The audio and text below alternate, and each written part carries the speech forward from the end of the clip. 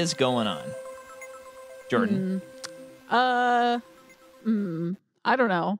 I couldn't think of anything fast enough. Well, you know But what? This is the McCaw, the McCaw podcast universe. I'm Jordan. I'm Micah. We're married. We are married, and and at, so we're recording this quite a bit in advance because we're about to we're on maternity leave right now Awesome. from the pod. But um, apparently, according to the due date, we had a baby last Friday, Okay. and and to on on uh or on last Saturday. So We're that far ahead. well, we did. oh, never mind. I know we, what's happening. We jumped a couple because we Yeah. needed a break from X Men. Yeah. um, but yeah, so so that's what's going on with us. If you want to talk about this episode with us, we're probably going to be a little preoccupied, and we probably won't know what you're talking about. Yeah. Uh, but yes, earlier this year we covered. Well, wait, what is this podcast? This is McCaw Podcast Universe. Yeah. We exist to prove people wrong when they say, Sequels are never better than the originals. Mhm. We cover film franchises. We go through them one movie at a time. And earlier this year, we did the Man with No Name trilogy Sergio Leone and Clint Eastwood. And when we finished that, we thought, we need a little more Clint Eastwood. yeah.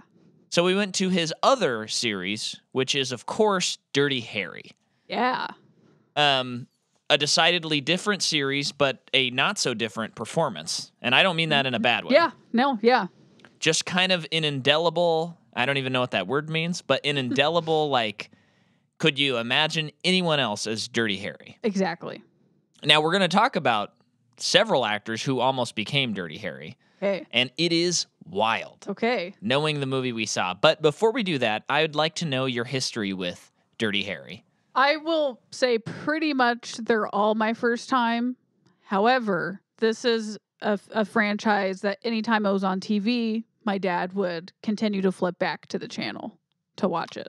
yeah okay So I've seen several bits and pieces of these movies. uh-huh Um, I guess I probably have seen so little of this one because most of my memory of Dirty Harry is the later movies when Clint Eastwood like his hair looks very different. okay Like he looks older. okay Um, so that's kind of my my basis for Dirty Harry is uh, Clint Eastwood's hair. yeah well i i've seen this movie one other time Okay. um Have you seen all these movies? this is the only one i've seen Okay, Uh, my dad bought the combo pack when I was a kid. and you only made it to the first one. Yeah, I, I, the first time I watched it, I was not crazy about it. Oh, okay. I think, I think, uh, I think it was probably late high school, I would imagine, and I think it was in the zone where I was awakening my cinephile esque. Your snobbery. Just say it. Yeah, yeah, and so I think this one was grouped under like, oh, it's just a dad movie. Did you know about Zodiac stuff when you saw this? I didn't know about the Zodiac. Do you stuff. think if you had, you would be a little bit more interested? Uh, I, at the time, or wait, I don't wait, know. this is the real question. I'm sure this is what would have happened though, because you, Micah, would not know about Zodiac if not for David Fincher's Zodiac. Let's be real. yeah, So I don't like true crime unless it's adapted into a movie with fictional Exactly. actors playing it. So if you had known about Zodiac, you would have seen that movie. Therefore, you would be comparing that movie to this movie the whole time and being like sticking your nose up, pushing your glasses up on your face, and saying, "Oh, David Fincher did it so much better." Blah blah blah. yeah. I don't think you're wrong. one I thing think that's I knew you back then. one thing that is nutso is um, I just remember I feel like I was maybe a freshman or an eighth grader, and I had some DVD, and there was a trailer for Zodiac, a movie that came out I think when we were seventh graders. Okay. So, um, because I think it came out in 2007. Okay. So so yeah, it's probably in eighth grade, and I saw the trailer, and I was like, "What is this movie?" Like the the trailer actually kind of scared me Yeah. because of what they're dealing with, and I was like, "This has got." You know, I think at the time I'm like this Iron Man guy, and then that one guy from Bubble Boy that I know who he is. You know, Yeah. and I was like, "This looks like, this looks like good and intense," but but thinking like, "Oh, but I haven't heard anyone talk about it, so it's probably not good." I I think for me for that movie, I didn't like fully sit down and watch the whole thing until college yeah, uh, because that's kind of when I got into Fincher. It was Yeah. probably like it was probably Everybody has to be a freshman in college. well, yeah, I actually no, I did see. I was aware of Fincher before Gone Girl because I had seen Social Network before then. I think it's possible though. I saw Gone Girl and read Gone Girl, and I was like, well, I know David Fincher didn't write Gone Girl, but it was like, I got to figure out this Fincher guy. So I probably well, by the time Gone Girl is out, you're away in college. I know. And and I have watched all of his movies, and I'm sure I'm obsessively talking. So I'm about it. thinking, I like my guess is the summer before Uh-huh. Gone Girl came out, I went through Fincher. That's my guess. That makes sense. Um, so that that was me catching up on a lot of those movies I hadn't seen, Yeah. including Zodiac. And when I saw Zodiac, it was like, holy crap, this is one of the best movies I've ever seen. I still love that movie, Yeah. and I've since read the book. The book is very fun. Well, it's not fun. It's a great book. Yeah. Um, and I remember watching that movie in college with my friends because we wanted to watch something spooky. Yeah. And um, the scene where the woman, the trucker, picks up the woman with her baby. Oh. Well, no, she's on the side. Of, no, no, no. Yeah. He he he Yeah. like does something to her car. He helps her out, does something to her car. She can't go anywhere. He offers her a ride. Yeah. And he it's like there's no music in the scene Yeah. at all. And he just tells her, I'm gonna throw your baby out. Like I'm gonna kill you and throw your baby out the window or something like that. And it is so scary. And I remember Yeah. watching it with my friends and we were all just like gripped Yeah. with fear. It was so scary. I mean, I I think I think you and I both have kind of simmered on Fincher a little bit. Yeah. Um, and that's a little unfair because everybody can make a bad movie. We're talking about Mank, folks. Um, We also didn't like Mindhunter. yeah, but I mean that is a show, so Yeah. I'm not really counting that against He's him. heavily involved in it, but sure. I I know, but everybody loves it, so I think we're like in a small group of people that Yeah. didn't like that show. Like when we told people we didn't like it, they were like, "Y- "Micah and Jordan, you didn't like that show," and it was like, "Yeah, it was really boring." Uh, but having said all that, um, when when he's at his best, he he's he is like one of the best at making some of the most terrifying things yeah. um, because all of the murder scenes in that movie are scarier than almost any horror movie I've seen. I I think because they feel so real. Well, and and in that movie, he captures he captures the randomness Yeah. feeling of it, where it's like if you were just around in San Francisco, this guy just might kill you, Yeah. like this random person Not with even no just San Francisco, to you. just the Bay Area. yeah, because like the couple that goes on the picnic, Yeah. that That's so a- scary. that is so gross. That scene. It, get, it gives you a pit in your stomach. I also remember um and and the obsession of Jake Gyllenhaal, like Yeah. like you're you're wanting him to solve it, and then like if you're like me, I didn't know the Zodiac killer, so it gets to the end, and I'm like, they didn't find this guy. yeah, yeah. And then also my obsession with Jake Gyllenhaal. yeah, Period. Um, I also remember with my friends from college, Yeah. uh, wanting to watch a scary movie again, and I, I'm like, guys, let's watch this movie Seven. oof, yeah, like, yeah, th- this is truly a very scary movie. And I was in New Hampshire at my one of my friends' houses for Yeah. the weekend on my laptop. yeah. trying to watch it. It's it. a different time. Uh, so not only was it just the worst medium to watch it, but uh, I watched a torrented Hangover on my iPod when it was still in theater, so you know, they're so bad. But I, I, we did not make it very far because I think no one was going to admit it, but it was too disturbing. yeah, I, I like kind of thinking we got through the glutton, like the beginning of the movie. oh yeah, and it was like, oh, it's that kind of movie. yeah, Let's just go to bed. yeah, yeah. That movie really freaked me out when I saw. it. Yeah. I was in high school, and like his whole speech about God just really got under my skin when he's when they're driving to the final destination. I don't remember what he says.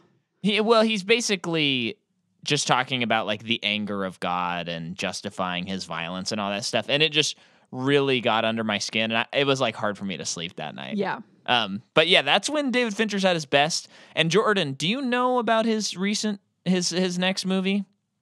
He's pair he's teamed up with the Seven guy again. Yeah, so the writer of Seven. Yeah. Um, I can't remember his name. I feel like it's Kevin Wilkinson, but that might be wrong. Um, and then here's it's going to be a big test because you and I are kind of off Fincher, but it's a return to you know the Killers. hmm Um, I think it's called the Killer.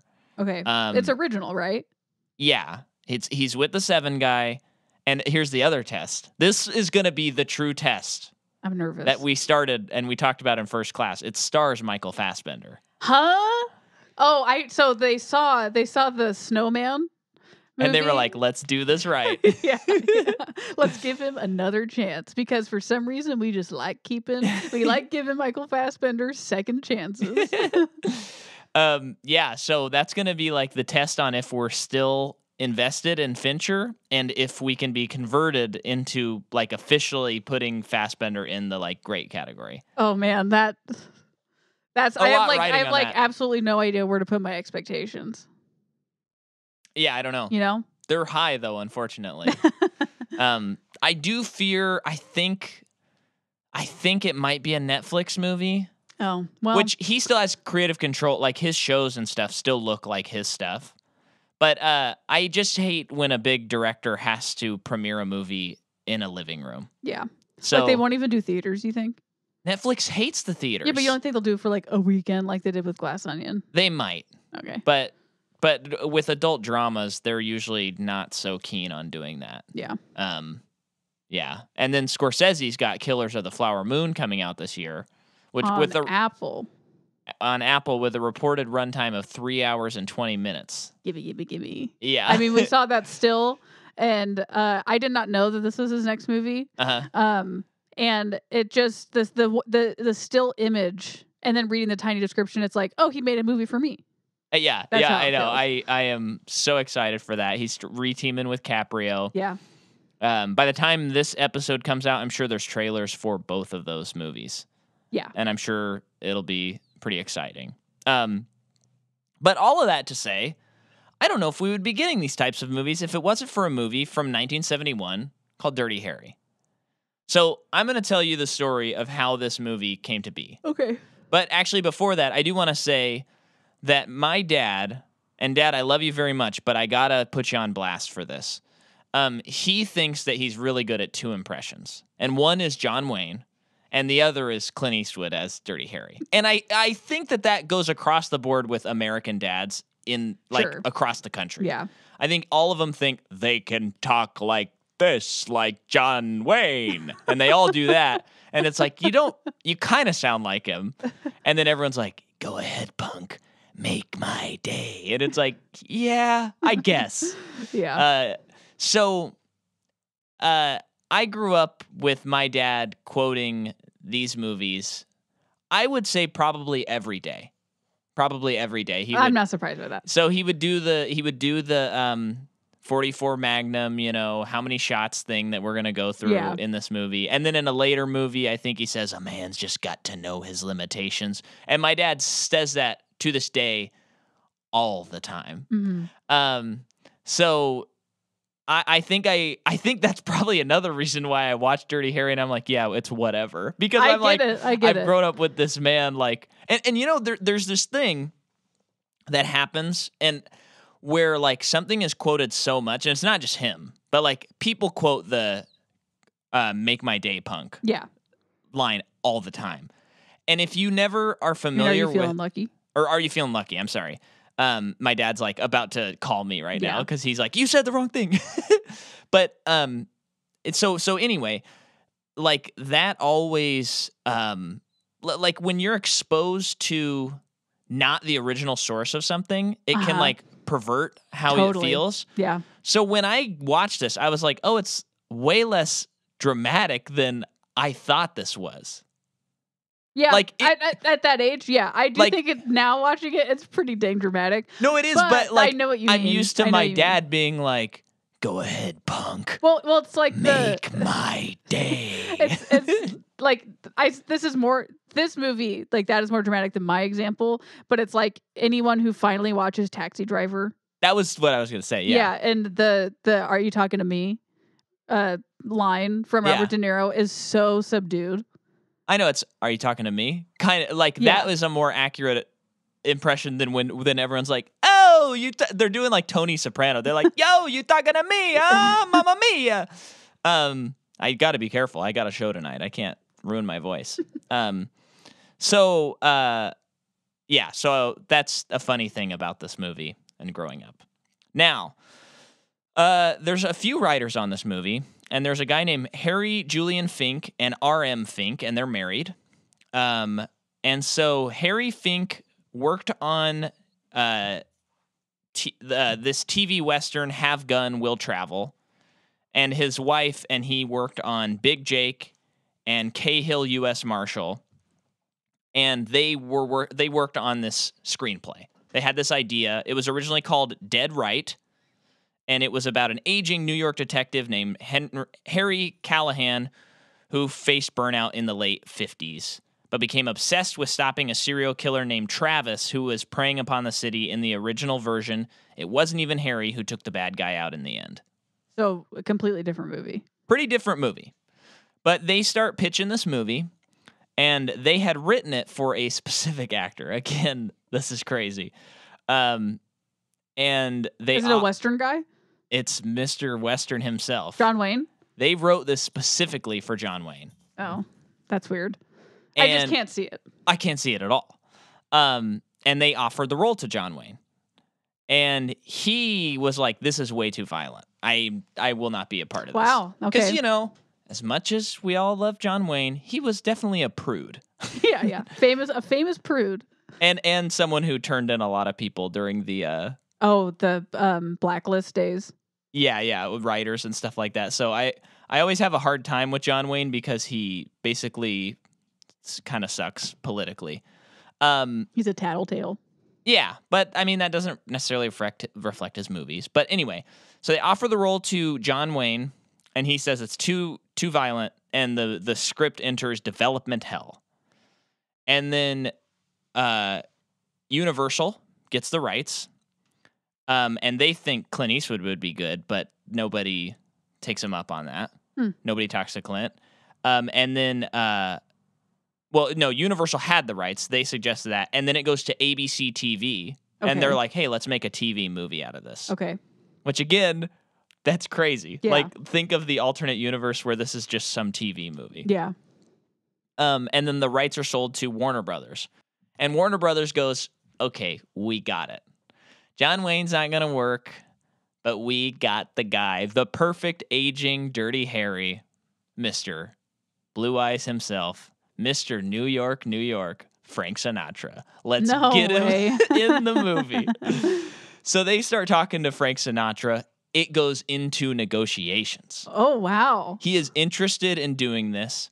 They bring on Irving Kershner, the director of The Empire Strikes Back. Okay. They're like, I mean, he hadn't directed that movie yet, but they're like, Yeah. this is going to be our guy. And then John Milius, uh, who wrote Apocalypse Now, Yeah. uh, they bring him on to write, like re- rework the screenplay. Yeah.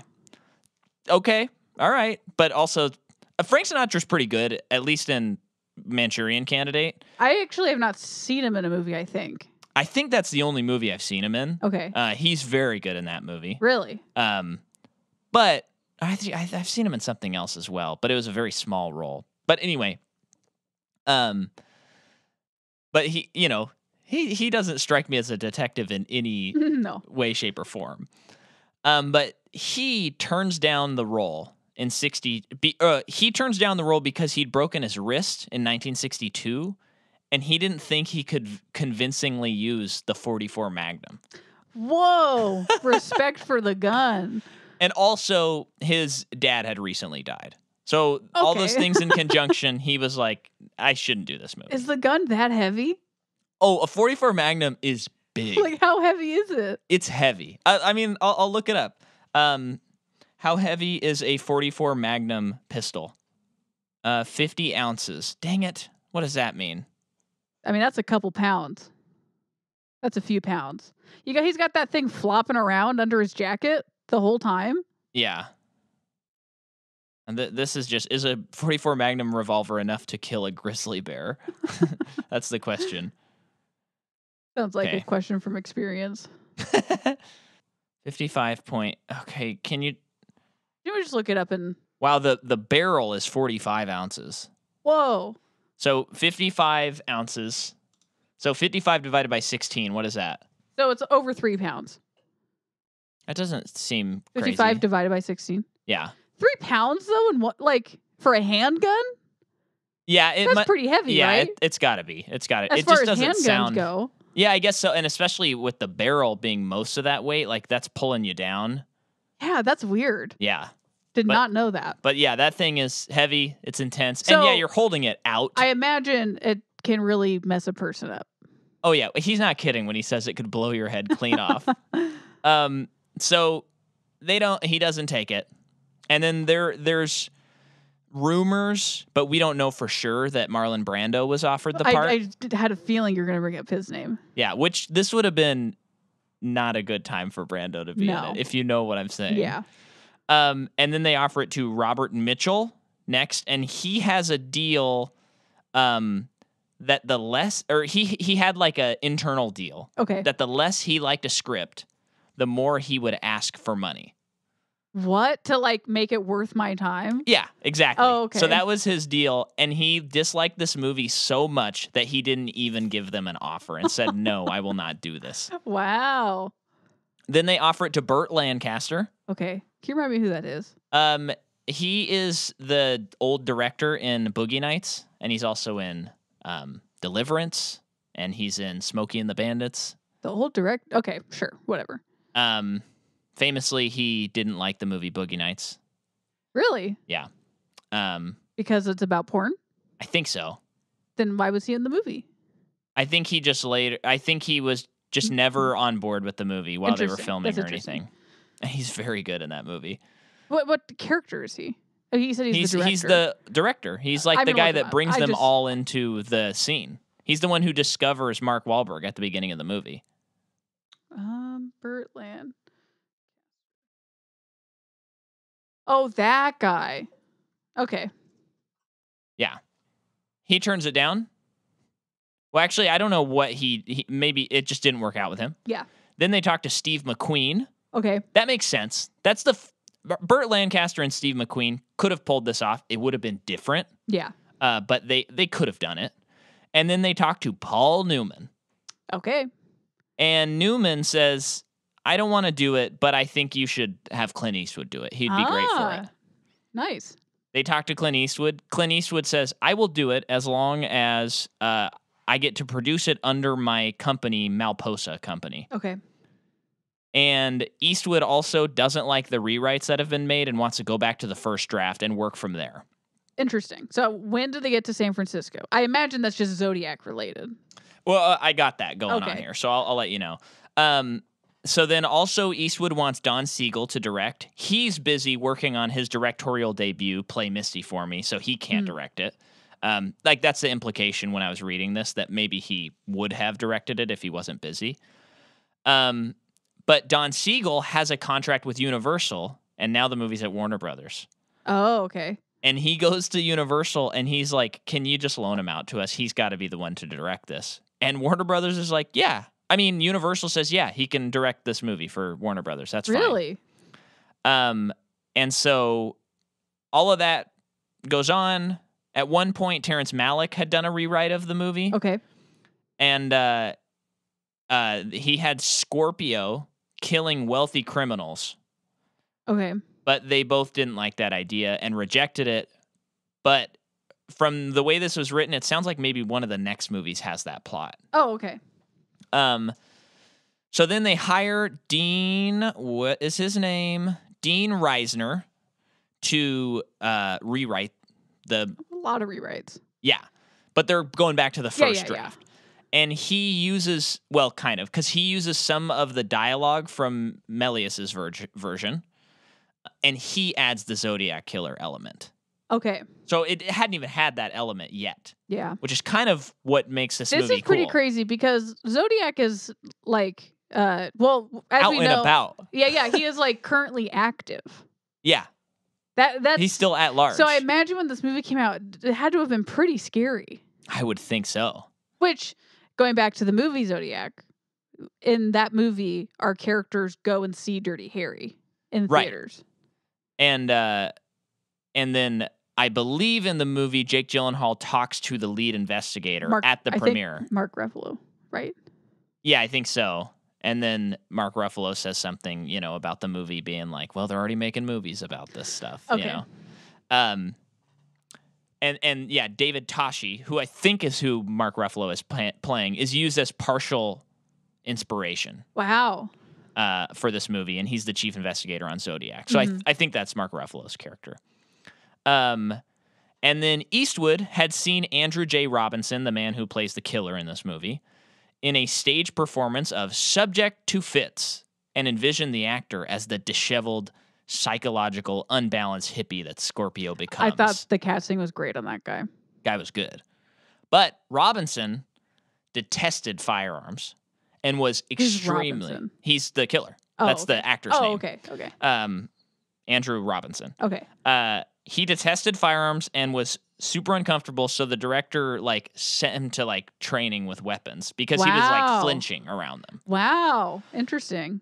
Um, and then he also, it, it just sounds like he was very uncomfortable with all of the bigotry his character has to do. Oh, wow. And like the, Yeah. the scenes where he's hitting the kids and like yelling at the kids. He was like very uncomfortable. He still did a, he still did it. Oh yeah, he was he was scary. But, but you know, it's kind of nice when, when you hear about actors like getting so into roles and stuff like that. It, it's nice to hear that there's a guy who'd play something this messed up and a really this performance is kind of a modern like Yeah. serial killer Yeah. performance. And and to know that he was like I was really uncomfortable doing that Yeah. is is nice. Yeah. It is it is interesting because we were kind of talking about this during while watching this movie. Um like the 60s and the 70s in a way felt like hell on earth because serial killers were very prominent during this time for I don't know. Yeah, it's just tr- so many true crime things take place during these time periods. This time period and it's just like it's almost as if human humankind like reached this new level of depravity that maybe we had we had been there before but it had never been this prevalent. yeah. And like so like with Zodiac It's just more like undocumented, you know? Because Yeah. there's it's not like serial killers just came to be in the 60s and 70s. They were out there. No, yeah, But- yeah, but it, it's just there. There is like a random acts of violence element Yeah. to it that feels like like it's so unpredictable. Uh-huh. I mean, like that. That's the interesting thing about Mindhunter, not just the show but the book, where it's like this guy, this guy finally sat down and was like, l- with all of these serial killers, yeah. and was like, let's try and figure out why do we have these, why these people exist. Yeah. like this didn't happen yet. No one's Yeah. trying to figure out the psyche Right. of why someone would want to kill people like right. randomly or because of some like not agenda. acts of pa- or passion. What is that called? A crime of passion. Yeah. kind of a thing. so to to like this I, I just I just feel like this movie had to have been so scary. Like that guy's performance had to have been so scary back then. Yeah, And it's, it continues to be today, but today we're a little bit more desensitized. We're a lot more desensitized Yeah. to stuff like that. But it, it's just interesting to look at this in in the context of the times. Well, and and looking at like U.S. history, like we've gone through World War II, gone through Korea, gone through the Cold War, and now we're in Vietnam. It's like nothing really makes sense anymore, Yeah. like abroad or domestic. And then now there's just like people that go around and randomly kill people. It's just nothing in America makes sense. You, and like you got to start start start locking your doors yeah, in your quiet neighborhood. Right. And and it's before like the boom of the 80s when like our like excess is just like so incredibly over the top. Yeah. So it's like this is the it's a dark time in America. Yeah. It's Yeah. not it's not great and I think this movie kind of reflects that. A big book I would recommend to anybody who, Even me? even you, it is true crime, but No, boy is it good. That book Chaos. Um, oh yeah, the Don't you dare look it up. I forget Don't you I don't want to edit, Jordan. But it's it's Chaos, and it's about the Manson murders. Chaos by Tom O'Neill. Uh, about the Manson murders. Of course, the like definitive Manson murders book is Helter Skelter. Which I've read. written by the prosecutor of that case, um, which I, that was like a page turner. It was such an exciting book. Well, as time goes on, and then you read this book, Chaos, you kind of learn why it was so page turning Uh-huh. because so much of it was made up or Uh-huh. coerced and convoluted and just like made up. Yeah. So I would totally recommend Chaos because it's also it's not just about the Manson murders, but it really gives you a very interesting snapshot into the '60s. Yeah. Well, speaking of that, bef- before we continue with my notes, one one thing that I think is a worthwhile topic of discussion is the politics of this movie. Um, and I've been thinking about this a lot because now, of course, it's a fictional movie. I think that I think too often, especially nowadays with like the Twitterification of everything, uh, it's easy to just go, "This movie has this in it, therefore the entire movie is bad." Yeah. But this is a movie that makes the argument that like criminals do not have rights. And if you are a suspected criminal, you don't have rights. And you should be treated as such if we're pretty sure you committed the crime. By looking through Clint Eastwood's character's lens. Well, I, I, because he is the he's the protagonist and he's presented as such a cool guy and he is never presented as in the wrong. Yeah. Um and and what what's kind of interesting and I, I'm just kind of pointing this stuff out. Yeah. Um, one thing that I find interesting is like if you're watching a Batman movie, there's always corruption in the police force. Yeah. Well, except for like the old movies, but like the Dark Knight and this this new one that came out. Yeah. I don't know why people live in Gotham. Exactly. But but the idea is that there is like corruption in the police force. And he he is a vigilante who has to like rise above it because the police are not doing things properly. Mhm. And what's kind of interesting about this movie is the police and the mayor are all doing everything legally. And they are they are not corrupt. Mhm. This is not a corrupt police force from this world. hmm And yet in, or, in order to make justice, you have to be corrupted. hmm Which it is a dangerous message that I think we're still like dealing with those ramifications. Yeah. And- he's a gray area character. yeah. Now, I mean, if he is a good, nice policeman, is this a good movie? Probably not. So, Yeah. so Yeah, yeah, don't yeah. don't like misunderstand me, audience. I'm not saying to throw this movie out with the bathwater, but it is kind of a dangerous uh, message. I mean, it's a message that Roger Ebert said this movie is fascist. There's no two ways about it in his review. Wow. Um, but but it also got me thinking about like what I would maybe consider. What does that mean? What does he mean by that? Well, f- fascist. I, I mean, how I read it to Yeah. mean is like just looking at someone and going, "You did this thing, therefore you don't have rights, Okay. and I'm going to take them Okay. away from you, and I'm going to like, you know, do this stuff." Okay. Now it's very clear that he did commit these crimes. yeah, know. but because we get to see him do it. that's true. Um, yeah, we don't actually know that he. Committed. We're not like we're not waiting the whole movie for them to reveal who the guy is. right. But what Which which I think is because like we want we need to feel that catharsis? the the like Clint Eastwood's character is justified and everything. We Right. we need to be on his side the whole time. Yeah.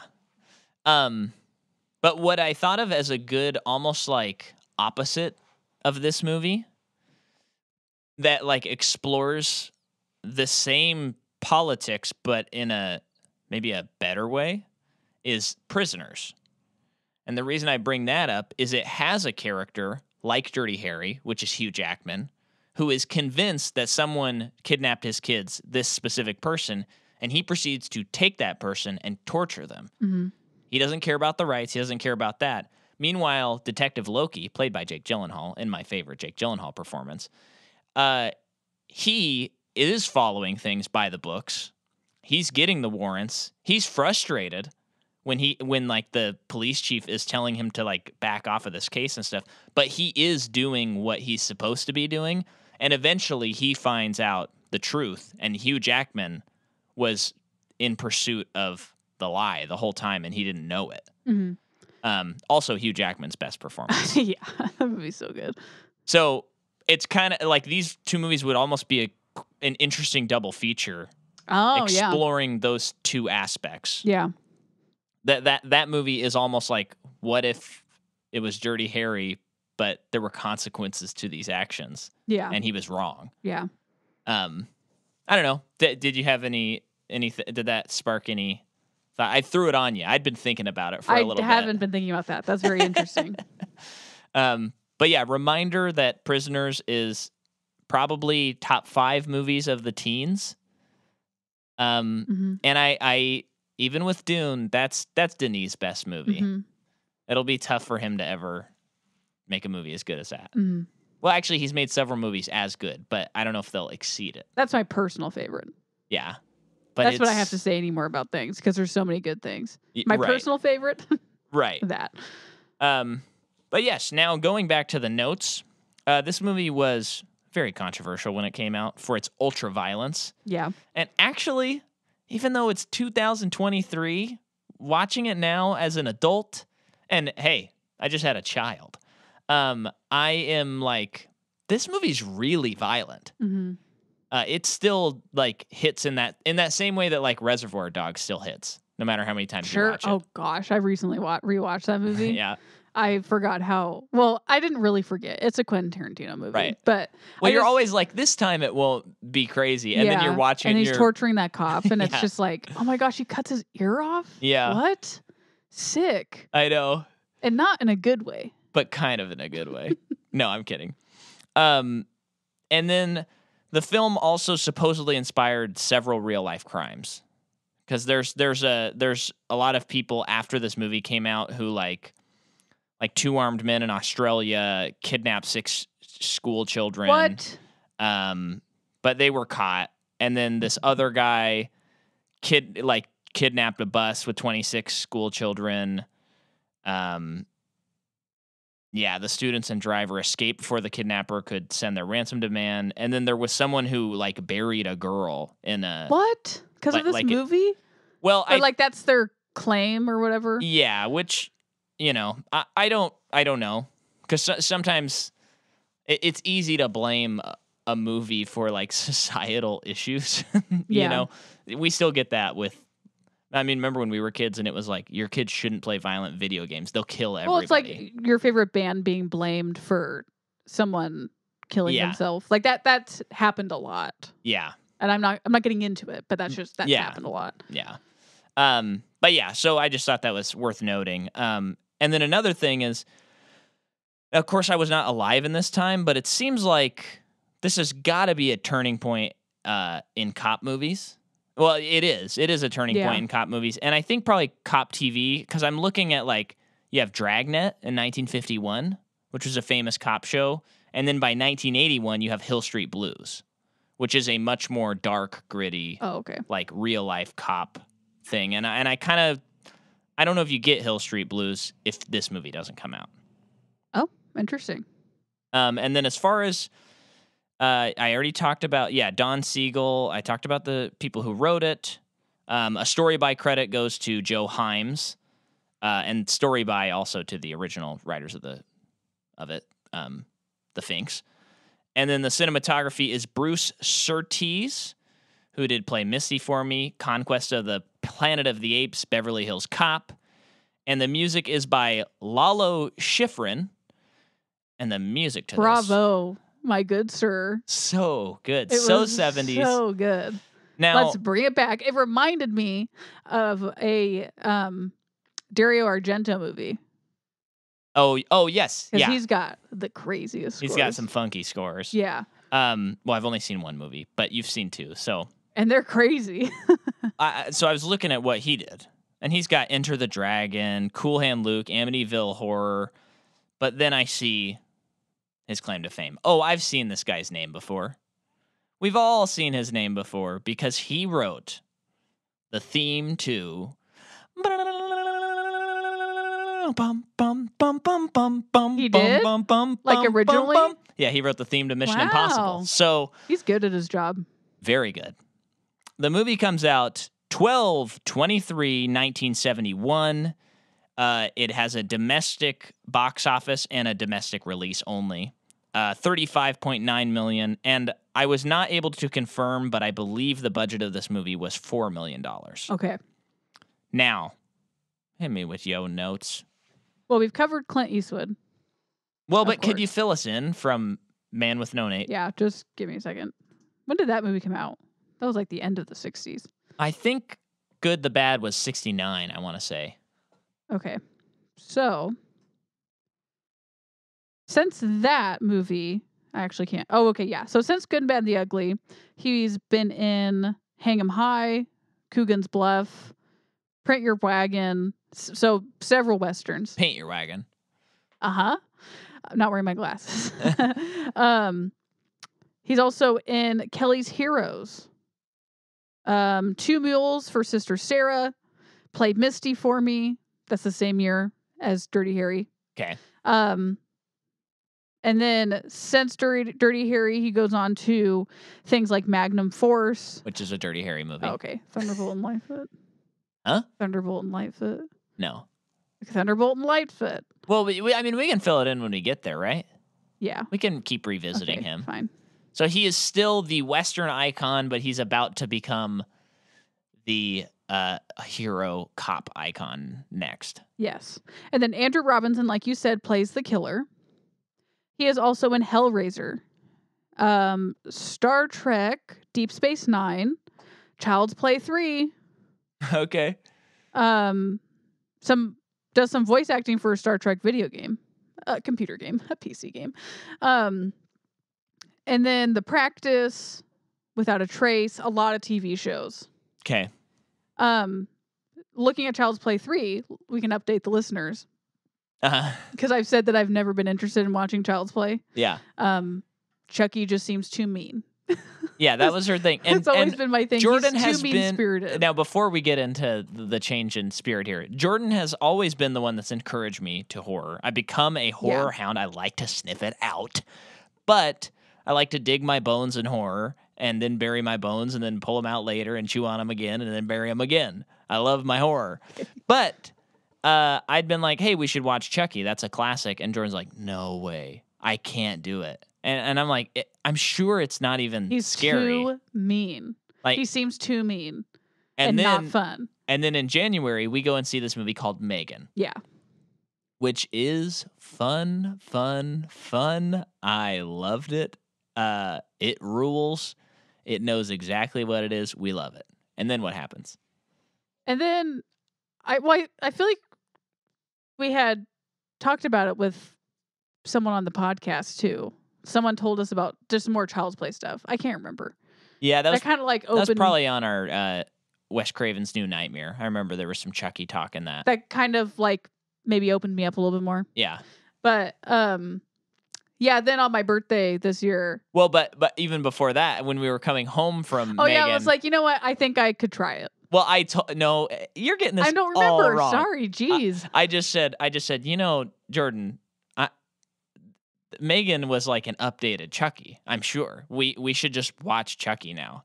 And you, as you, we were pulling into our driveway, you were like, I guess you're right. flash forward to flash forward. Fast forward to my birthday night. Trying to figure out what movie to watch, and I Uh-huh. say, "What the heck? Let's just watch Child's Play. Let's do it. Let's finally Uh-huh. conquer my fear of Chucky." Uh huh. Um, and we watched it, and it made no sense. It is wild. It's It's, bonkers. so fun. Yeah, It's like the animatron. It's, it's so funny too that you know it's like my thing was always that he was so mean, and he is mean. He he's not having fun. Um, he's kind of having fun. I I I ima- I'd like to imagine that he has fun later yeah. because this movie is all about surviving for him. It's a survival movie for Chucky. Um, so, but but I just uh, part of me has never considered how cool the animatronics would look, Yeah. and the animatronics are so cool in that movie. yeah yeah and and um yeah it, it, it is it's it's just one of those there's like a ma- there's like a magic type of movie i'd put megan in the same category but like chucky and like the gremlins movies where yeah maybe they have like story problems or like a character doesn't make sense or something like that but the the commitment to the bit and every the commitment to everything and then making cool effects is just like I don't really care that like this person was underwritten or maybe like from here to here doesn't make that much sense. It's not. There's nothing like a classic horror movie that makes that that has like a female lead Uh-huh. that we just don't get Uh-huh. like that, and to have the male lead be completely useless. Oh my you gosh. just you just don't He's get it in any so other genre. useless.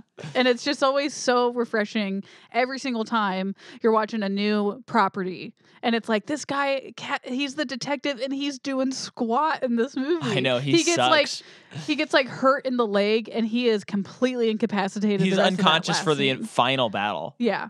And then he wakes up, and then Chucky gets bu- back up from his final battle, and he gets knocked out again. Yeah. He's so useless. he was he was so useless. Um, and and don't worry, listeners. We know a lot of you are not horror hounds. You don't sniff it out yet. You will, but you don't yet. And we're I don't imagine we're going to be doing Chucky anytime soon. No, no, no. But it was fun to it was fun to finally watch Yeah. it. I think there's too many, and I don't think it's like the Freddy thing. I think it's probably like there's too many, and I think fans agree there's too many. You Yeah. know, whereas Freddy, there was always something to enjoy Yeah. Because he's an artist. Yeah. He is an artist. he really is. And he has fun. he has fun. Oh yeah. So Harry Guardino plays Bressler. He's the like police well, not the chief, but like the lieutenant or something. Um, the guy that's ordering Harry around the whole time. He's also in The Enforcer, Houseboat, King of Kings, Fists of Honor, Murder She Wrote, and much more. Um, Reni Santoni plays Chico, who is Harry's partner. Okay. briefly. He plays Poppy in uh, Seinfeld. Um, he's also in Cobra, Doctor Dolittle, Whoa. the Eddie Murphy one. Well, I guess that's obvious, right? Because Well, there are old ones, really old. No, Yeah. like, but it's like really old. Um, yeah. Yeah. Bad Boys, Franklin and Bash, so much, so much. Okay. John Vernon plays the mayor. Yes. He He got uh, like with John Vernon or an and John Vernon. he did. He is in Animal House. Okay. Also, Killer Clowns, Airplane 2, the sequel, um, and a lot of other stuff like TV shows and voice acting. And then John Larch plays the chief, uh huh. who is also in Play Misty for Me, Airplane 2 as well, um, The Wrecking Crew, Dallas. Oh, so the chief is different than the guy who's ordering ordering him around. Yes. Okay. I don't know. th- I don't know how rankings work in in police or the army. And then um, the bus driver is played by Ruth Kobart, who is also in How to Succeed in Business Without Really Trying, Sister Act 1 and 2, Mm. um, Murphy Brown, and several other things. Okay. Is that everybody?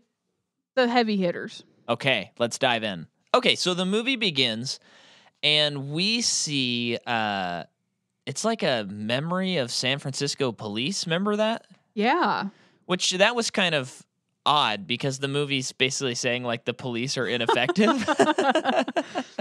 But- I'm assuming that was like real people. yeah, I guess. I don't know why Why- they why would like make a whole set, but like this this movie is not like yeah, it's saying it's saying if you join the police you shouldn't follow the rules. so I don't know, kind of weird. Um but he then is he is the police though. he is. He's justice. He's vengeance. He is Batman. I want to read you something I found though. Okay. Um, I so as listeners, as eagle-eared listeners will know, I got a thousand and one movies to watch before you die, and this movie is on it. This is one of the movies, and I read they have a little description for each movie, and and there was something about the movie, and I noticed it even before reading it, folks, that that like certain movies just absolutely capture a location and use the location to the benefit of the movie in a way that you know there's that thing people always say and na- and now it's like ad nauseum so people kind of joke about it like oh the second or the third character in that movie is actually new york Mm-hmm. but when a movie's photographed in a certain way hmm you, you do feel like new york looms large or whatever and this movie really captures san francisco That's true. Yeah, they they show a lot of Spanish architecture and yeah like the churches and stuff. and and i think before we even get into what this little paragraph i'm going to read what Is what's Spanish? san francisco Yeah. i think so Okay. I just Yeah, don't. I want to make sure. Saint Francisco. Um, I think it's like a. Okay. I believe so. I wouldn't bet money Well, on I it. I think like all a lot of a lot of as we know. a lot of coastal towns was- are, are Spanish. what? A lot of uh, coastal towns are have Spanish influence. Yeah, you yeah, know, yeah, San yeah, yeah. Diego. Okay. Uh, yeah. Sorry, not to cut you No, off. no, no. You're okay. I think that's a pretty fair assumption. Um, but yeah. So what I think is really amazing about this movie is not only like the seedy underbelly does it capture, but just the scope of the of the shots in San Francisco, to me, they kind of give off this feeling like you don't know where a killer could be in this huge area. He could be anywhere. I mean, the first kill itself is like, how did that even like that? That seemed impossible. Exactly. And and then and then it also gives another feeling like we were talking about earlier with the the 70s and the serial killer feeling where where it feels like the killer could be anywhere and also it doesn't matter where you're at in the city you are not safe. And it doesn't matter who you are. Doesn't matter who you are. Because like yeah. he's using a scope at the beginning of the movie to get this girl who's like with the coolest music playing. yeah, just buildings and buildings away, and the way it is shot is just like th- this girl is alone, but the way it's shot, it's like she's you know this could be anybody, and he could come from anywhere and get you. Yeah. So I think that that is one of the things that elevates this movie from just like schlocky Yep. to to quite Yeah, interesting. It makes me wonder if the other movies continue to do that or not. I know. Because there's five of them, it's like that's unlikely. yeah. Um, I imagine there's going to be a pretty steep drop in the next one, you know. yeah. Um, But oh, go ahead. but But our killer are you done re- are you still reading stuff? I haven't read anything yet. Oh, okay, That was fine. all my thoughts and opinions. Well, thank you for gracing us with that. But this is what it says in the book. Um, brilliantly exploiting San Francisco locations, director Don Siegel gets a high low motif going in the first shots, zooming back to reveal a woman swimming in a blue sky pool on a high rise roof while a sniper draws a bead on her from the top of another tall building. From then on, the film soars and plunges in roller coaster contours to delineate a multi leveled metropolis where a precarious sky city of helicopters, hilltops, rooftops, glass towers, and enveloping fog perches over a primitive underworld of burrows, tunnels, alleys, and quarries. No mere drop, dra- backdrop to the action, this formidable labyrinth molds and tests the characters as they twist and fight their way through it. This is vividly depicted in the tour de force se- sequence in which Scorpio runs Harry ragged from one end of town to the other as part of an evasive scheme to receive a bundle of ransom money. Mm-hmm. Mm-hmm. So, yeah, just think that it's worth pointing out and noting that they're really using the location well. Not Yes. every movie does that. Most movies are not shot on location anymore. so Well, yeah, that's true. that's why they have to give all those title cards because you can't tell what city it's in. No, usually they just do too many title cards. Yeah. Um, So our killer is on the roof of a skyscraper Yeah. looking down on another, like we said, of a woman swimming alone in a pool on top of a building. Wow, what a life. And um she he he shoots her. I- thought this detail was crazy. So shoots her, kills her. Yeah. No, like then basically next thing we know, police are there investigating. Yeah. and and so they're they got their forensic team all over the place. We have we Dirty Harry comes in. I mean the the way he comes in is so like What- what a- I mean for Clint Eastwood it's like what an icon. Like the camera really is like we're looking up at him. Yeah, and it says Clint Eastwood as Yeah. he walks onto the looks great. rooftop.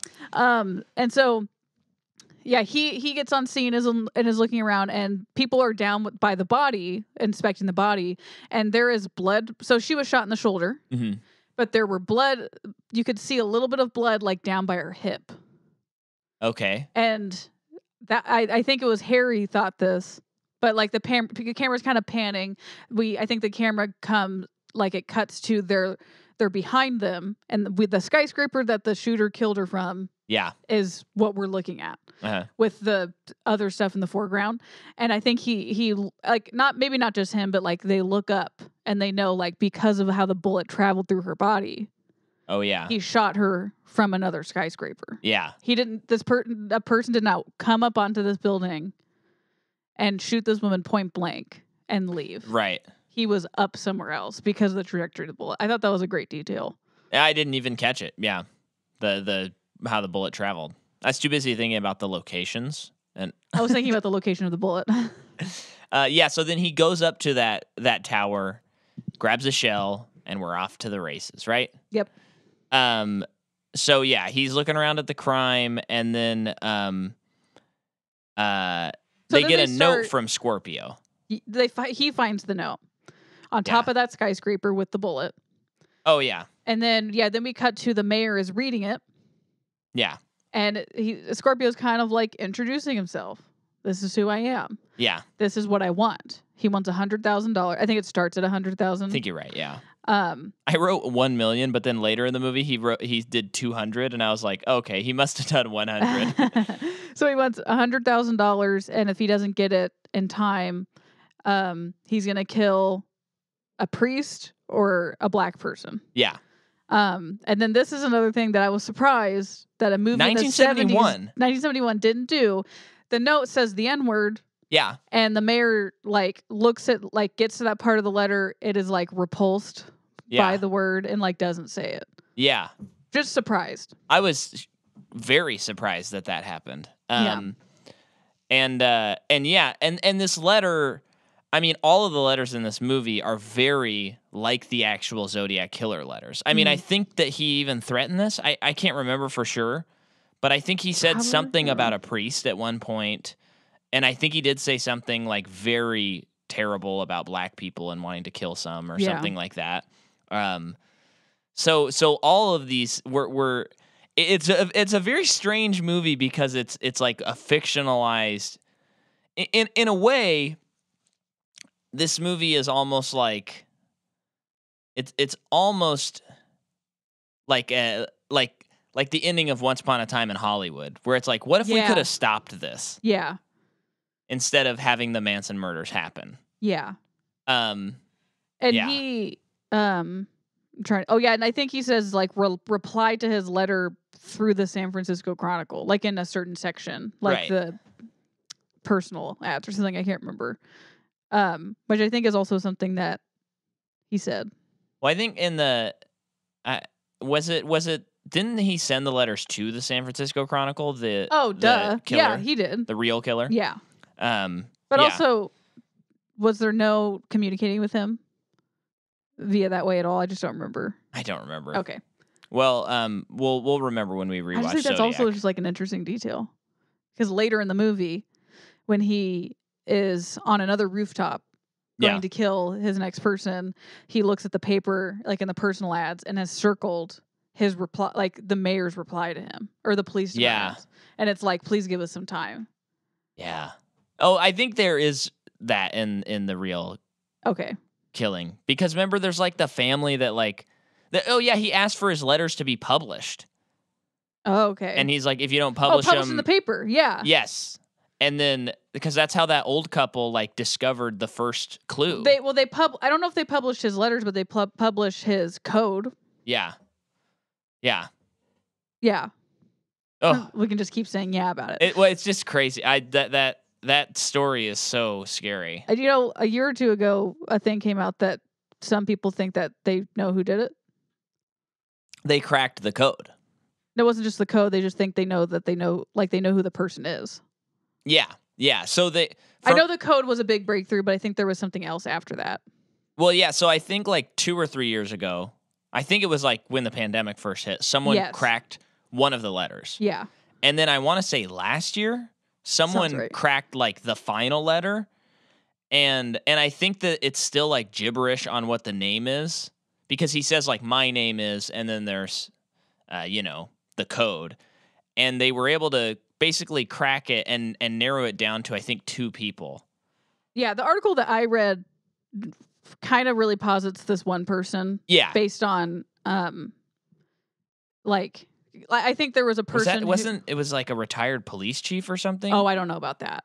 But th- it was a person who I, I feel like there was someone who maybe witnessed the murder or survived the murder and described the man, Mhm. and he had scratches on his face. And there's like a pic- a picture of this man Yeah. who had scratches on his face or certain scars on his face, who I think was already kind of like that. That sounds like it's so simple. Like, why didn't we catch this guy a long time ago? But Yeah. that's like my foggy memory of it. So on, I just went to Wikipedia, and and uh, in 2018, the Vallejo Police Department announced their intention to attempt to collect the Zodiac killer's DNA from the back of stamps he used during his correspondence. The analysis by a private laboratory was expected to check the DNA against GEDmatch. It was hoped that the Zodiac killer may be caught in a similar fashion. Yada yada yada. Um. Oh, they as of 2022 they haven't resolved that. Well, that's not that's not what we're talking about though. Cuz I thought they I thought there was something about Okay, hang on. Zodiac killer Maybe we should just get back to the movie Really? because I'm sure people who are listening to this already know. Oh yeah. Oh yeah. Oh, and a, another, and this is part partially because I don't trust this, but it, it premiered on Fox News. Was a cold case team says Zodiac killer ID'd, linking him to another murder. Yeah, killer as Gary Francis Poste, who passed away in 2018. Hmm. Although, if you're not the Zodiac killer, sorry for calling you out, but Fox News already did it. um, but we're gonna get into all of that and more this month on Patreon when we cover David Fincher's Zodiac. Oh, we are doing that. I can't remember we said that we were doing that. We're saying it now. Patreon.com slash Micah Macabre. We're gonna get in let's we'll get into it. We'll go Okay. through all of it and we'll go through Zodiac, the movie, and you have to sign up for three dollars um, to listen to that. Okay. So link in the show notes. But yeah, so the mayor is saying like we got to figure this out. Dirty Harry, you can be the bag man, um, but I don't want any of this business like what happened down at Fillmore, is what he says. And and then this is when we get the was- hint of yeah. who this character is. And like he, he, I, I, yeah. Sorry. Go ahead. well, he says I shot a man with intent to rape, and a then man who was attempting to rape. Yeah. You made it sound like Clint Eastwood's character was. Oh yeah, so Clint Eastwood says, "I shot a man with intent to rape," and then the mayor says, "How did you establish intent?" This also sounds so sounds weird how you said it, but yeah. I'm quoting what the movie I know. said. I know. I know. Okay. And then the mayor says, "How did you establish intent?" And he says, "When a naked man is chasing a woman with a butcher knife and a heart on, I don't imagine he's collecting for the Red Cross." no, that's pretty good. you you know what's so funny? I feel like whenever I have like a little planned, like okay, I'll quote this thing I'm for the gonna tear it down. You you just like cut it off and don't let it go. oh my gosh. That's marriage. But um yeah, so we see that he he's willing to go the distance if he needs to. Yeah, and and maybe kind of establishing at least to the mayor and the police chief and stuff that he he takes law into his own hands at a certain point Yeah. in, in instances and maybe you know yeah innocent until proven guilty but what i was seeing was probable cause enough Yeah. to do what i did Which that one feels a lot more That's- justified. so it's pretty straightforward yeah. i will give him that one i thought it was interesting too when the mayor was asking him like tell me everything you know about this case and the lieutenant kept cutting him off yeah. And Dirty Harry just keeps on like rolling his eyes basically. Yeah, it's like the lieutenant's like, let's continue to be diplomatic because this is a Yeah. this is the mayor we're talking to. Yeah. Um but you know, and it's good to remember that we have the memorial to the San Francisco police at the beginning of the movie to backdrop this. So then Dirty Harry leaves and is on the studio lot of Warner Brothers. Yeah, we've been here before. We Yeah. took a tour. it's a San of- Francisco street, but Yeah. Um, but yeah, it's a set, and we, we I remember we went through, and they were like, "Hey, have you guys seen Dirty Harry? Because that that's where they shot this the bank robbery scene." And I was like, "Whoa, that's crazy! That's the scene." Um, and you when we watched it the other night, you were like, "I don't remember this at all."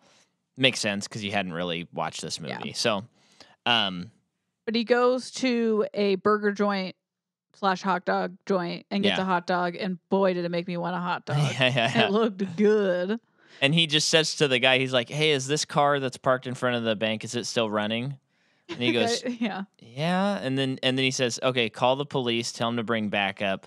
And then right after that, like the bank alarm starts going off. hmm And he walks outside.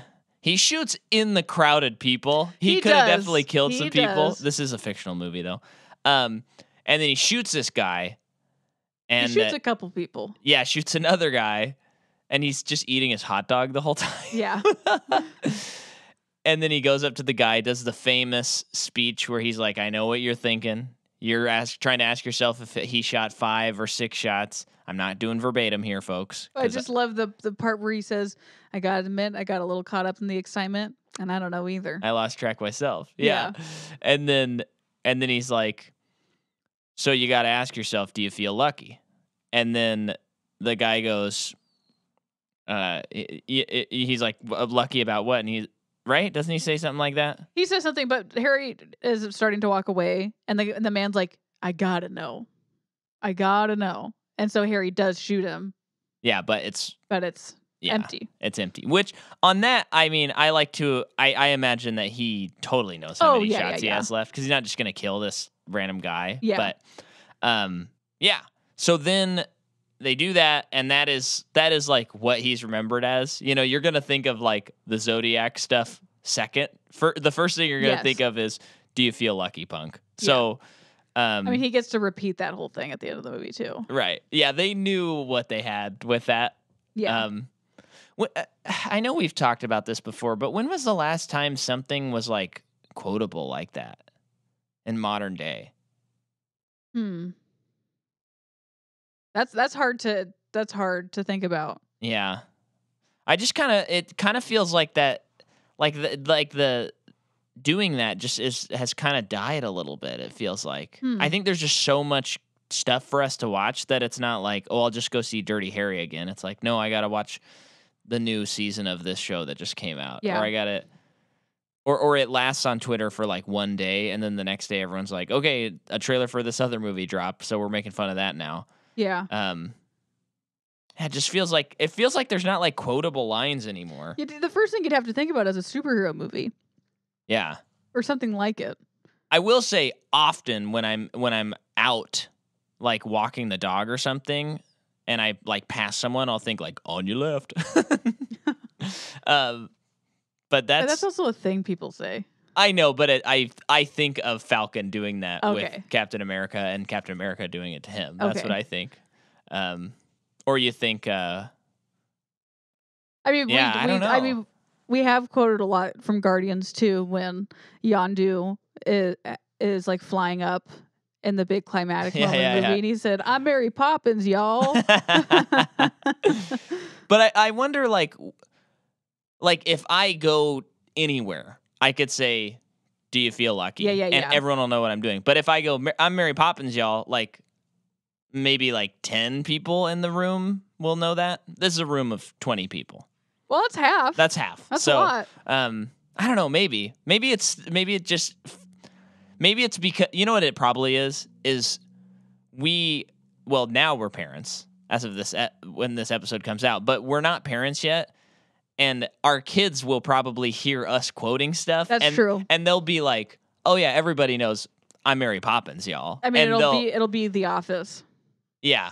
The like- Office is quoted all the time, Yeah. and that's not just because of your sister who has a problem Yeah, and your brother-in-law who has a problem, who's also my brother-in-law, yeah, right? yes. Yeah. Okay. Um. Okay. so anyway, uh, they start. The police force like they decide to patrol the rooftops, hmm and they're worried about this guy who's going to, you know, kill somebody. Um, and then around this time is when they start discussing why they call him Dirty Harry because he gets a new partner, hmm and he's of course he's upset about the new Chico. partner. Yeah, but I'm Well, I'm glad that he like pretty immediately is like as long as you keep up, I don't care. And the that guy's great. The partner's great. Like yeah, he, I don't know. He he doesn't get in the way. No. Um. So. 'cause I just feel like sometimes that that dynamic's a cliche, but we we learn because of him having a new partner, his other partners died on the job, yeah, and then his other partner after that is currently in the hospital. yeah, And then throughout the movie, we find out um, the one partner that, well, okay, pretty soon after that, actually, I know I'm skipping a little bit, yeah. but Dirty Harry saves a suicidal man on the top of a rooftop, Mhm. gets him down, and he, when, when he's up there on the crane, the, the guy wants to like come out with him. right. And, and he said, no, my last partner, my partner did that. And the guy, like, they both fell off. And th- their their bodies were so Yeah. mangled and smashed on the pavement, you couldn't tell whose arms were theirs, whose legs were Yeah, theirs. yeah. So gross. Um, and then his other partner got shot on the job, and I think it was because of something Harry did, like yeah, a decision he made. So it's like if you're Harry's partner, you got not looking good. Yeah, yeah. You don't want to be his partner. Um, but speaking of that suicide scene, uh, I believe I, I read that Clint Eastwood directed that scene. Oh, interesting. Yeah. Cool. So, um, Had he not directed anything yet? well, earlier this year, his first movie, Play Misty for Me, came out. Oh, that's his movie. Okay. Yeah. Um, I'm just assuming that came out in maybe the summer. Okay. Good movie. I've never Um, seen it. Is that a like it. western? No, no. Uh, I've it. It is. It stars. Um, I'm forgetting her name. Uh, but Lucille from Yeah. Arrested Development, the mother. What is her name? I'll look it up. Uh, she she becomes obsessed with uh Oh, Clint yeah, Eastwood, and see- I like stalking him, and so It sounds so Yeah. good. it's it's Jessica very Walter. yeah Jessica Walter. Um, it's yeah, it's really good. My dad owns it. My pops, who's definitely listening to this episode. um, So him and Chico are out on the town patrolling. Mhm. It's night. well, before that, Oh, you're right. Sorry. we see yeah. Scorpio at a church, and he's like, gonna he's looking at people. He's trying to pick his victim, and then he finds this black man, and he, I mean, it it seems very clear that the black man is gay, Yeah. And and there's a reaction like where he's like he's even more like, oh, I gotta kill this Yeah. guy. He, to him, he's like two strikes Yeah. because he's a bad dude. So he's he's like watching him, and I also, I mean, I thought it was interesting the inclusion of the gay element in Yeah, I thought that was 1971. interesting too. Uh, I mean, we're in San Francisco, so that makes sense too. Yeah. But um, so we're he's he's gonna get him, and at one point he like loses him, and then he's gonna get him again. But then a helicopter comes down. Spots him. Yeah, and he takes off, Yep. and then we have the night. Yeah. So they now they know to look for a man with a tan briefcase yeah, that they assume will that is something is stores his gun. So they're out of the night patrolling. They think they see a man with a tan brief, briefcase. Follows him home, um, and then Dirty Harry is looking through a window. He he's being a peeping tom, looking through Yeah. a window. this was so funny to me. So it's this man who does have a tan briefcase, but he just has a bunch of clothes he like bought for his girlfriend or something. Yeah. And she immediately strips. And I gotta say, this was so refreshing on so many levels. Oh, and by the way, w- before this movie started, I said we're watching a movie from the 70s. There's definitely going to be some random useless nudity. So th- this woman takes her shirt off and she is now nude from the waist up. Mhm. Um, so it, it is like you said. it's like, wow, I'm kind of surprised we got this far into the movie and we're just now seeing the boobs. Yeah. Um, but she is a, a- an overweight person. Mhm. That already very refreshing. Yeah, yeah, yeah, and then um. Clint East- or Dirty Harry is like on a trash can propped up, and he like fall or he gets caught by somebody calling him a peeping tom, starts beating him up. All these other men start showing up, and they're like, "What are you doing, peeping tom? Like being peeping on Hot Mary." so it was like, okay, that's refreshing too. it was so weird. Yeah, they think she's a hottie. Probably because they've peeped themselves. They were Yeah. probably on their way over there to peep. So they all start beating him up. His partner Chico shows up and is like, "I'm the police. You got to stop." Yeah. They stop beating him up, and then he's like, "Well, we're- got to arrest them now. They assaulted a police officer." And Dirty Harry's like, "No, Yeah. no, I, I was peeping." Yeah. And and so that there's like another like shade to it. I think that they show Right. where it's like, it is like he does like it's fine. What do like you- like like keep not going to not it? to not like enforce the law on Oh, these people yeah. who who were like Well, they were kind of justified in what they were doing. that's what I'm yeah. trying to say yeah, Yeah. Um, but yeah, and and and this is around here too is when we. So earlier we we heard like they call him Dirty Harry because he hates everybody. Doesn't and and they and they just name off like all ethnicities and are like he hates them all Oh, I don't remember that Yeah, and then this time they're like, "Man, they really call you Dirty Harry," and he's like, "I get all the dirty jobs." So it's kind of like this collection term. yeah He he gets stuck with it, and so um, then we have the suicide attempt, hmm which we talked about, and then we have well what did you think about that scene like like what you- about the inclusion of it because uh, well, it made me think of immediately. Uh, there's a there's like. I, I I guess they're probably riffing on this. Uh, Lethal Weapon one has a suicide scene as well. oh okay where uh, Mel Gibson goes up to get the jumper, and then he handcuffs him to him. And they're handcuffed together. And then the guy's like, What are we going to do? What are we going to do? And then the guy's like, Well, now we got to jump because they have like the big balloon thing out. And the guy's like, I don't want to do that. And then he just jumps off the building with him. And it's pretty cool. I don't remember that. Um, Lethal Weapon's fun. I like Yeah. that movie. And number two, Rocks too. um, but yeah, I mean, I think it just shows that Dirty Harry's a bad boy. yeah. But he gets the job done. He gets the job done. He's a bad. He's dirty, but he's also hairy. I think is what that shows.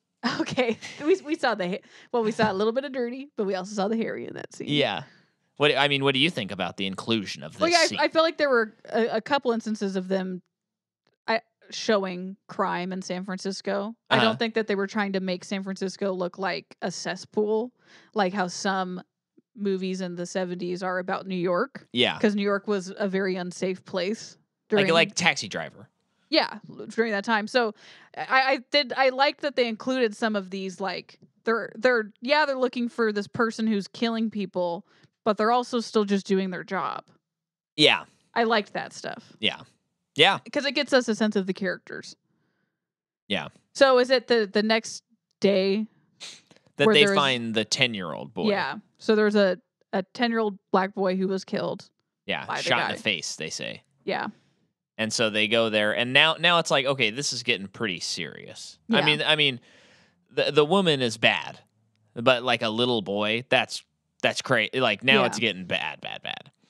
And so then they get their list of demands, uh, which is, hey, you have 14 hours uh, to give me two hundred thousand dollars. Uh, because I have a 14 year old girl who is buried and she only has enough oxygen for 14 hours. And now Harry has to be the bag man. Again, no tricks this time. I mean, there weren't really tricks the first time. I think they actually didn't get the money to him the first time. No, because was- at some point the lieutenant or the chief is telling, because I think Dirty Harry's kind of like we're just gonna give it to him, and I think some some superiors like the mayor is pulling a lot of strings yeah, to make this happen. yeah, It's it's at this point where it's like he's he's got someone held hostage. We don't have a choice. right. Um, and then finally, it's it's so funny for you listeners, Gilmore. When we are working in this room, hey Gil, come here, come here. He's eating something. When, Probably something under my desk that I dropped. Yeah. So so when we're when we're working, he just usually chills out in the room or in another room. He doesn't really explore. But when we record, he goes, "Oh, now I want to sniff all the outskirts of the room and move around and and like And run into your feet. cords and yeah." But but when we're working, he's like, "No, they're working." He doesn't take the podcast seriously. but people love Gilmore. Don't don't they, Gil? Yes, they do. So now Dirty Harry is transferring the money, and we have like I I think that this is the plot of Die Hard Three, the whole movie, if I remember correctly. Oh, Where I've not seen it. yeah, it's like you need to bring this guy money or do something, and Bruce Willis has to like run around the city while Samuel L. Jackson is the the bad guy, and he's on the phone, and he's like, "Now you have to do this. Now you Is have to do that." I, I think from what I remember, I mean, when I was a kid, I liked all of them. Yeah. Uh, I don't know how they all hold up, but I feel like three is one where people are usually like, three is actually pretty sweet. Wow. Three is good. Yeah, that sounds like a Keanu movie. Yeah, yeah, it's very speed. I think it is kind of in that speed zone. Yeah. like it, it that type of It's movie. in the speed zone. It's in the speed zone. um, it's in the speed limit. Really. Hmm. So now Harry is being running around town with the bag of money, and he's getting phone calls from phone booths. Yeah. which is always tension building. Yes. Um, it's it's a great sequence. At one point, he's going through a tunnel and he he gets mugged, but he's able to like oh pull gosh, out his forty so crazy. yeah, and tell those guys like get out of here. Yeah. But he's he's trying to trying to run, and then his partner has a listening device, but it's back in the seventies, Mm. So it's a microphone. It's only has a very small Range. range. But he's following Harry. Yeah. Um. Then he finally makes it to a phone booth, but someone else answers it Yeah. before he gets there. And it's like, oh, it's over. But then he get like there's a call again. The Yeah. caller calls back. and he the caller tells him to go to I can't remember what park it is. It's probably the famous one, the big one in San Francisco, but tells him to Hyde go. Park is that what it's called? I I'm so bad at that stuff. So yeah, it's I not. Lincoln Park. That's in Chicago. Yeah, Um, but I I was astounded when I found out that was a real place, I think I was too. and I think I found it. I feel like I found it out from listening to the Adnan Syed podcast oh, really? because I think there was something with Lincoln Park in that crime. I don't know. I I- don't think so. I think at the beginning they mentioned it for some reason. Okay. Yeah. I don't know though. I could be wrong. Yeah, yeah, what was yeah. that podcast called? Serial. Serial. Yes. Yes. We all look back and think we could have that time back, couldn't we? You know he's been released. I did. Uh, yeah. Interesting. It is very interesting. Yeah. Um. So he goes to the park Uh huh. where there are people making out, people making love, and There's people making love. no, I'm just assuming. Oh. it's the '70s, free love. I can I tell you a story about San Francisco and people making love. Uh, yes. so we were on a Seance tour, and we were going through. Um, I can't remember which park it is. It's not that park. Though. okay. um, a Golden Gate Park. That's the park we were going through. And we were like, it took a while to park because we had the big RV. and so we finally park and we're, and it was this weird, like, almost like magical thing we stumbled upon. But I'll get to that later. Which the lovemaking? No, that's in Oh. between. Um, so we get out, us four guys, and then Dave, Sean's dad, and we we're walking down into the park. I think we had like frisbee with us or something, like frisbee golf, and we were like, "Oh, I think there's a park here. We can play frisbee golf. Waste a day away. It'll be fun." And we're cutting through the park, and we we walked like by these two young people, like probably in their early twenties, having sex, and uh, they were like, "Oh, sorry," and they just kind of stopped while we were like and walked by, kind of kind of like waved and were 19 year like, old Micah. yeah. They were they were keeping it modest though. Oh, okay. What, they weren't both naked or something? No, they were not both naked. But they were they were having sex. They were connected, but not naked. They were connected. That's so wild. Yeah, it was wild. And uh, in my memory, in my mind's eye, like the, the way the path was, we had to walk like by them. Yeah, Like- yeah, yeah. like right they next did not go very far off the beaten path. Well, it was like they were out of the park, but but since we had parked in a weird spot, we were just cutting Oh. into the park. Yeah, yeah, yeah, yeah. So we were like going through like a wooded area. yeah. and they were there. But what was weird is, I mean, we're talking. It was like you know 2 p.m. probably. Uh-huh. Like it was it was not cover of night or anything like that. Um, and then we were wandering around the park and we're hearing like loud music.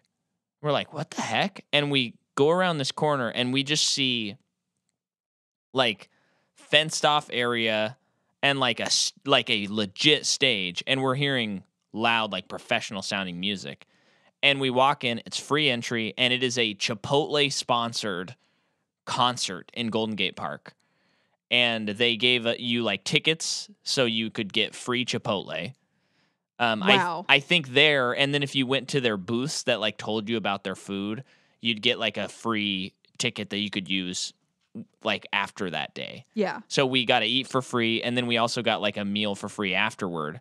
And on top of that, they had like a band. I mean, I, I Sean Muir, please don't get mad at me, but a band that I'm not crazy about, Walk the Moon.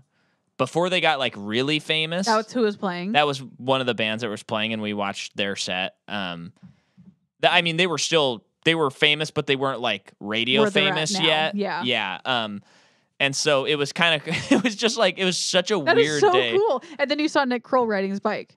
I think it was the same day. Yeah, Yeah. I saw Nick Kroll riding his Is that bike. the same day you guys almost got arrested? I think that was a different time. Okay. Yeah, yeah. Um, and we don't. W- hey, this is a San Francisco series. Maybe on a future episode, I will tell you about the time that Grayson and I, no, Sean and I, got arrested on Golden Gate Bridge Park, or uh, no, on, the Golden Gate Bridge. Mhm. Um, But in this movie, that's such a funny thing that happened. that's so funny. That's pretty cool about the, the Chipotle thing. Yeah, Um, as dirty, well, uh, detained is a better word. We were detained. yeah, yeah, which it also sounds kind of scarier. it's a pretty wild story. Yeah, So, um, Dirty Harry, I like that I keep calling him Dirty Harry. yeah. Um, he is walking through the park and he is approached by a random man. I like this. Yeah. who says like people call me Alice. And then I think, does he ask him like why, or does he like ask him a question? Yeah, and he he gives an answer that's like not connected to the question he was asked. Yeah, like this this person is out of their mind. Yeah. Um, and he's just like, get out of my way. So he- Yeah, yeah. He there's just a lot of random people in this park. hmm Um, and That's a location thing. Like I like know. it just feels like a lived in world, you Yeah. know. And he was told to go specifically to a cross, a, like a giant cross in this park. Yeah. Gets there and is ordered by the killer, you know, turn around, drop the bag, drop Yeah. your gun. Um, he complies, and then the killer comes up to him and starts beating him up. Yeah. And Chico is off in the bushes. And he's like laughing maniacally and oh, stuff like that. It's weird. yeah. And Chico's like off in the distance and start. Well, he starts shooting at him. Yeah.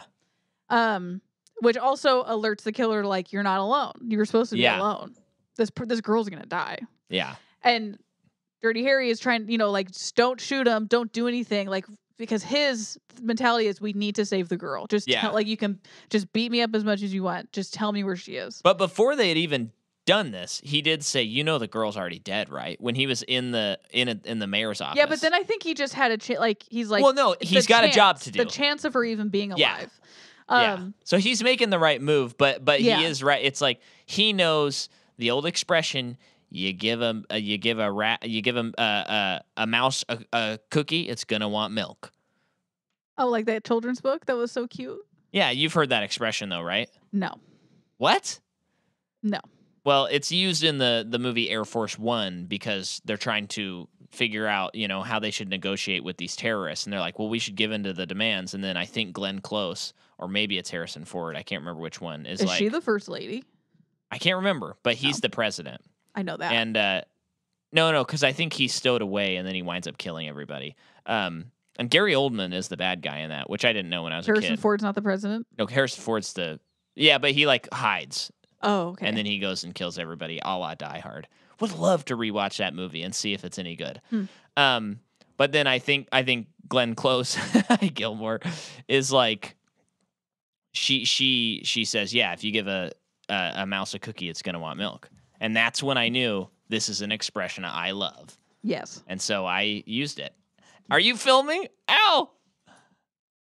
I think she was. See, he he gets those feet, and he's got great little chompers, and they really bite hard. So, uh, yeah, where are we at? Where are we at? You're you're on your phone. Well, I was sorry. Um, so Harry had a knife in his sock that he pulls out and stabs the killer in the leg, Uh huh. and the killer, now wounded, runs away with the bag of money. Right. Rolls down a hill with the knife still in his leg, and that hurt to watch. Yeah. Um, and then he leaves the money behind Yes, and that's right. hobbles to a ho- to a hospital nearby, Yeah. where he is treated. At, at- during that time, well, Like well, they like- find out the girl died. they don't know that yet. The killer got away though. Yeah. That's to what they think. And we Oh, Uh, you're right. That's after. Harry is being treated. Um, he's back at the police station, but then they get a call. Oh, they get a call that like there was a someone reported that a man fitting that description with that wound showed up at this hospital. Yeah. And his partner got shot in the at the cross. Oh, that was in this scene. Yeah, because his partner doesn't go with him to this next scene. That's true. He takes another guy. yeah. So partner gets shot, doesn't die, but um, Yeah. Harry wounded but driven by justice. Uh huh. uh, goes to the hospital with another dude, another detective, questions the doctor. The doctor recognized the man. Yeah. How did he recognize him? And so tries to get him to remember. Did he say that the, he thinks that that man that man was handing out flyers at the stadium or worked at the stadium? And then he's like, I, I think he said handing out flyers at the stadium, like helping out or something. And then he's like, and I think they let him stay there. Oh, was that what he said? Yeah, at this like shack. Oh, okay. And so, okay, quick pause. One thing I'm realizing that I like about this movie a lot, um, I'm thinking about the partner. So he gets kind of unceremoniously shot, and then he's off screen for a while, and then they come back and he's like, hey, I can't do this anymore. I have a degree in sociology. I can go teach, or, or he says something like Yeah. that. And Dirty Harry's like, okay, sounds good. Yeah. And and what I kind of like, and it feels like such a 70s and 60s thing. Um, I love a well written, well oiled, you know, back to the future type script where it's like boom, A to B to C to D. You know, I love that. Um, but but I feel like less and less now you you have movies where like that just feels so realistic that that would happen to this character and and yet it is not played as super dramatic and it didn't feel like oh we have to set up how he thinks about something because of this in scene 1 so that by scene 3 Yeah, yeah, when yeah. it's just like yeah I can't do this anymore. Well, I think we get a little bit of an explanation after too because he leaves the hospital with Chico's wife. yeah. And as they're really cool how they did that shot too down the stairwell. Yeah, yeah, yeah. um, yeah. But the wife is just kind of going on and on about how unsafe this is. Um, she like you know doesn't know if her husband's gonna die, and he every day he leaves for work, stuff like that. Um, and all of all of the stuff she's complaining about is very valid, uh-huh. and he's just listening. And and she's like, well, what does your wife think? And Eh. he's like, my wife's dead. Yeah. And, and it's like throughout the movie, people have like said things about his wife, but in like in a way that's like, oh, I'm sorry for bringing her up, and we Yeah. don't know what happened. So we finally find out that she's dead, and the, you know, the woman feels so bad for but kind of everything she said, saying Yeah. that about his wife, and he's like, no, it's okay. She died in a car accident. There's really no reason for why it happened. Just Yeah. did. Yeah. And it's, so it's just everything's just like it. That's life. He wants to quit to go into teaching. Yeah. That's his choice. It's his life. Yeah, and and and I I think that's a charm about this movie in a weird way because like I think if this movie was written now, you know, you, you'd say the wife thing, and then the end of the movie there'd be like a moment where you know the Zodiac killer's about to kill a woman who he kind of reminds him of his wife or something like that. And then he's like, "No, I have to make the hard decision because I wasn't able to save my wife, but I can save you." Yeah. and that works a lot of times and i like that when that happens in movies Yeah. but it's kind of nice that it's like nope i just don't like this guy and i want him to die You know what this made me r- reminded me of? Probably because of it was a car accident. yeah Uh, was signs. I, that just popped in my head when you were saying way. that yeah Uh, the especially the just the whole. Oh my gosh, that movie's so freaking good. yeah But the whole dynamic that, for one, Mel Gibson's wife is pinned against a tree and is dying, uh-huh and their last conversation is just like a sob fest. yeah oh and yeah then later in this movie, through in time, he has to choose a man who has basically lost faith has to choose to save the man who's responsible for killing his wife. yeah M Night, you bastard. well and and see that's a that's a good example of like the opposite yeah, um and i'm not faulting it i No, you're not, love yeah. Signs and Yeah. again i'm saying i love both types of movies yeah, But like in Signs, it's like, oh, it could it can't just be that his wife died in a car accident and it's emotional. It's like, oh no, she also says something that that is like a premonition of the future yeah, yeah, yeah. that he can then say to Joaquin Phoenix, who can then defeat the aliens. Swing hard or something. Uh, see see see him swing or uh, see what's his name? Who? Joaquin's character. Yeah, it's see something swing. Yeah. See something swing is what she says. I don't remember what the something is. Yeah. And it it's also like a reference to like a baseball game he played. Well, he was a really good baseball player. Yeah. So so it's It kind of like time to watch that movie again. yeah, it's kind of like the idea I think in like the internal logic is that she's just imagining like a nice moment. But it's so emotional and happened at such a high stress point that Mel Gibson is reminded of that. And then he's like, "Oh my gosh, hit him with the baseball bat." Mm-hmm. You know. Bada bing. Bada bing. Oh. um. Yeah. So then they're at the field, The stadium. Yeah. the stadium, and uh, there's a field inside, and They break and enter. they break Well- and enter. They don't break, but they enter um, without a warrant. Yeah, and and the guy's like, "We don't have a warrant," and he's like, "I don't care." And they break in, and they go and they find him like pretty immediately. Um, and and I I like this touch. They break into his like little house, his shack, and without saying anything, again, unceremonious. That's what that's one of the things I'm really liking about this movie. Uh, Dirty Harry touches the coffee pot and kind of like shakes his hand like it's hot, but he Mhm. doesn't say like coffee pot's still hot. He must have just been here. He just does that, and you go, oh, cool, Mhm. nice touch. Mhm. If you if you were looking at your phone, you missed it, but Mhm. it's I a nice actually touch. Didn't catch that, but or I just don't remember. But yeah, great, great touch. Yeah, sure. Yeah, and then he's running across the field, and then the guy who's with him turns on the lights. He shoots him in the shoulder, leg, shoots him in the leg, Yeah, and he's on the field. And see, I'd only seen this movie once a long time ago, and I was like, huh? I thought this ended on a bus. and I was like, what happens in between this and the bus scene? Because like, feels like there's a lot of movie left, but I, you know, what the heck? But I knew I'd seen it, and I knew Doesn't it kill ended on a bus. Doesn't kill him, but there is this shot that is so incredible because part of it is like that's just your money shot right there. Yeah, yeah, yeah. He's in the stadium. He's got the guy um like hold, held by the gun, and Y'all- then it's a helicopter shot pull out like from and we're seeing close to them. Dirty Harry uh, putting pressure on the man's wound, Yeah. trying to get him to tell him where the girl is, as the helicopter is yeah zooming out. Yeah. It looks And- so cool. And here's where I I would posit something uh, as a I I don't think that this movie is satirical, but I think you could read it as satire.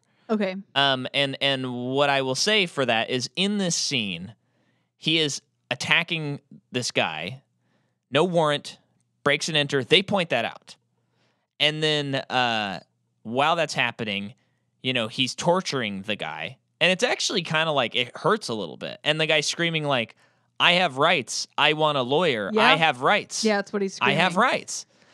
And so I think you could almost read this movie as them kind of like making a commentary gung ho movie about like being a macho man and not following the law. And and pointing out like you, you can't do that. But uh, but the thing is I don't think the movie is ever aware I mean, of that. Roger Ebert didn't feel that way. No, I know, but I'm I'm almost thinking like maybe as a to someone who's saying like, oh, this is a fascist movie, maybe that would be something I would say is like, well, if if you look at it in a satirical lens, which I don't think they intended, you could almost see it as like, yeah, this is what happens when when someone does stuff like that. Hmm. And that that's how ridiculous is that? Yeah, Um but at the end he's he's he's always the hero in the movie. Mhm. That's why I don't think that that works yeah, but but the movie goes so far to point out how bad the things are that he's doing yeah, that it almost feels like they want you to be aware of it yeah. but but at the end of the day i think they're like it's pretty cool huh? You know? So it is a little fascist. Um yeah and so then they get him back and to custody they are able to find the girl and she is dead. Hmm and unfortunately, he didn't read him his Miranda rights and he tortured him. Hmm and he came in without a warrant. So they have to let him go. And and this is another thing where it's like you're kind of watching it as someone who's seen a lot of procedurals by this point and you're kind of like, "Well, yeah. You have to let him go. They can't get him on anything because all of this is inadmissible." And they they explain all of that. And yeah, and that's a moment where you're like maybe maybe if he had done his job correctly they probably wouldn't have saved the girl but they could have like avoided the whole bus thing and he Mhm. could have stopped him and they could have put him in jail hmm and not killed him too um you know so it's a lot of what ifs, I guess. yeah I, I it's it's interesting it's um yeah. tantalizing Hmm. Um, but yeah, So it- it's kind of funny that he gets like upset about it because he also has proven throughout the movie that he is aware of the law. So it's kind of funny that he's not. He's like, "Come on, you're gonna let him go," and it's like, "Yeah, dude, you you know how this works." Yeah. It's it's like he he is doing his I mean, he's not doing it technically, he's not doing it within the limits of the law, but he is doing his job. yeah, And basically it's I mean, the whole role of like a detective or police officer is like, I'm doing my job. Okay, district attorney, here you go. Now it's your turn. yeah. You do Like, yours Now you do your job. And then that's that is why that scene is so good. And the because the district attorney has said, You made my job impossible Uh huh. because of how you did your job. Yeah. And so they let him go, and he goes to this guy in this random area. Well, Harry starts following him. yeah. a little bit like doing some surveillance Yeah. Um, and again, it's like you're not supposed to be doing this. No, but it, it is at the same time though that it's like he is their prime spe- suspect. oh yeah, I mean, he is the guy. yeah, Um, so like they they have to, someone has to follow. him. yeah. But but yeah, like no no, it's not part of his job to do it. Right. No one's told him to do it. I guess I guess yeah, and now by this point he did see this guy when Yeah. he went to the cross. So he does know that he is the actual killer. So I I can see the passion of being like now, now it's less of like prisoners with Hugh Jackman where he's like he's like I'm pretty sure it's this guy. Yeah, He does know, you know, for half of this movie he does know that it's that guy. yeah, Um, trying to adjust your mic there. Yeah. Um, and so he starts following him around. I wrote Harry following him around, dirty style. and then, oh yeah, the the guy is like watching children play on a playground, and I hated that. yeah, that was very so weird. much and then um then like you like you were saying he he goes to this guy like in this abandoned looking building Yeah, I like this because I did not remember, and I'm like, what is he doing? this was nuts and he said he gives him $200 and the guy says how bad you want it he says i want $200 worth he sits on a chair and the man starts beating him up yeah, oh my gosh that was so crazy so beats him up pretty dang bad yeah, yeah, the man is taken to the hospital. All these reporters are around him, swarmed around him, and he's like, "It was Harry Callahan. He's been following me. Yeah. He did this to me."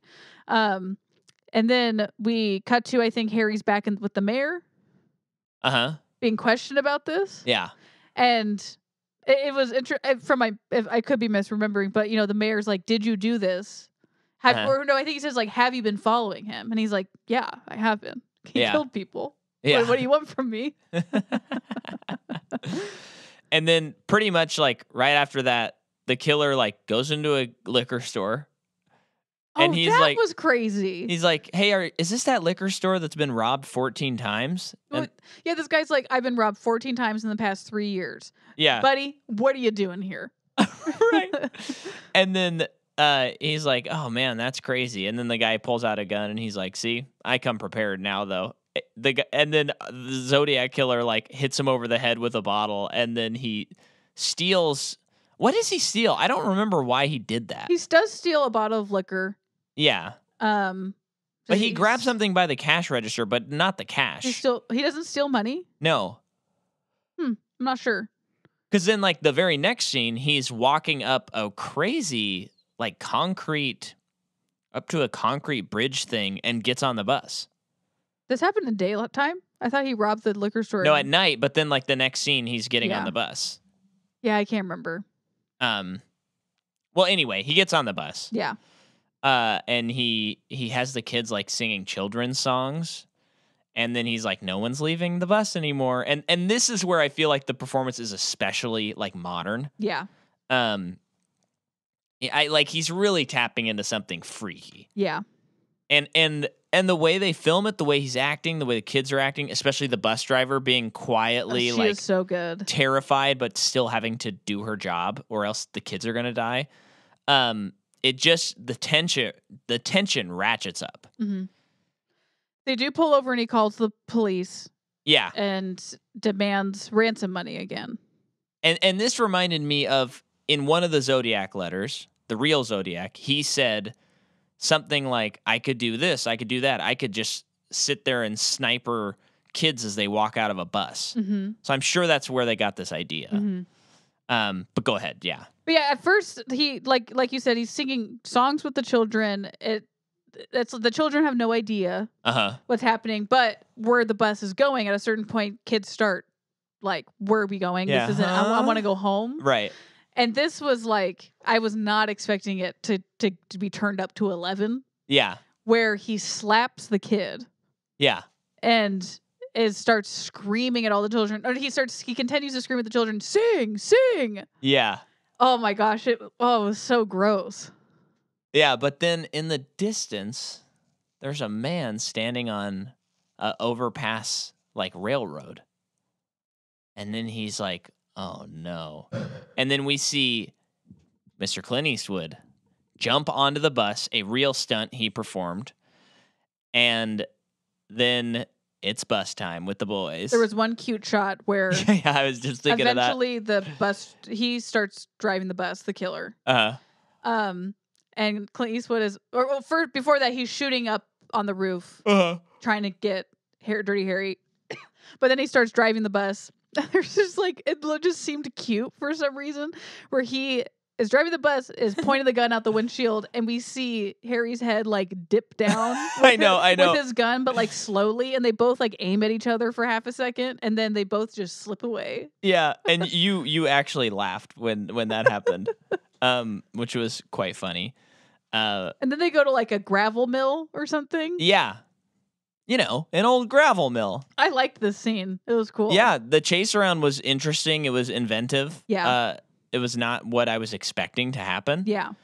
Uh, so they go through this whole I gravel do remember thing. all of this stuff. Okay, so this is a part you had seen. Yeah. Um, and then there's a kid like fishing in the gravel area, Yeah. which, funny enough, felt very like it just felt like oh, one of these guys like had to bring their kid to work and was like, "Well, bring your fishing pole." like it just felt like all those little touches, all those extra people make the it feels like a real world. It Yeah. feels like our world. Um, and so then the killer grabs the kid, and then of course Harry does a classic, shoots his arm. He's got good aim. I wouldn't be able to do that. And uh, kid gets away. He's able to do his "Do you feel lucky?" speech. And guess what? This time he's only shot five times. Blows him away. And then he pulls out his badge, looks at it, takes it off, and th- tosses it into the pond. Yeah, and because it's a movie from 1971, the credits immediately start rolling after that Yes. as he walks away. Yes. And we applaud and applaud. Yeah. Yeah, I that's Dirty Harry for you. Yeah. What do you think, folks? They loved it too. Uh yeah, um I'm excited to keep going through this series. We're going in blind for the rest of them. Uh I've not seen the rest. Um and yeah, thanks for listening to this podcast. Are we just going to end as abruptly as the movie did? Yeah, Okay. Uh, but well, with a couple of plugs, please remember to rate, review, and subscribe, uh, and send it to a friend. Um, and then finally, you know, I already talked about Patreon, uh, but next week because our calendar, I do have on the calendar that next week we are doing Insidious Five, Whoa. directed by Patrick Wilson. yes, but I would imagine we probably won't be doing that. Oh, So go to my Instagram at out of Micah, uh, and you can see our schedule. So next week we will probably be doing the second Dirty Harry movie, Magnum Force. who's to say? But I'm not sure. I Insidious is a movie I could see us being like, I know we just had a kid, but we gotta go see Insidious. no, probably not. That'd be crazy, right? Probably pretty crazy. You know what? You know what, folks? I'm taking it off the calendar because there's no reason for us to do that. So uh, next week it is Magnum Force, um, and and we'll we'll we'll have to do Insidious later in the year, probably when it comes out on video And on demand, VOD. VOD. It's in the game. Música